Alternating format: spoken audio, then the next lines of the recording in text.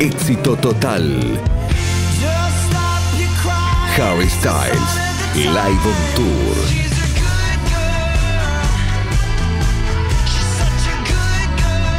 Entradas agotadas. 23 de mayo de 2018 en DirecTV Arena.